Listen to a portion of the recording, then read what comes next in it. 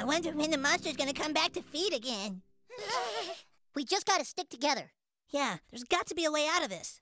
Hey, wait a minute. What? Remember that time Fonzie jumped over the buses with his motorcycle?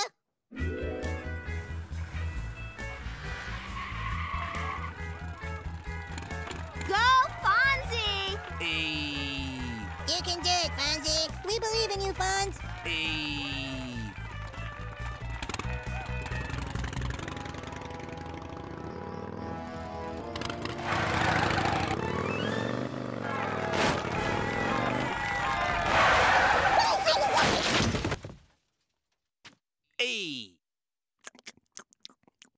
My god, they killed Kenny! You bastard! Now that's what I call a sticky situation.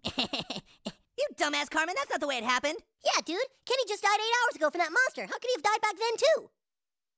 oh yeah, I guess that doesn't make sense.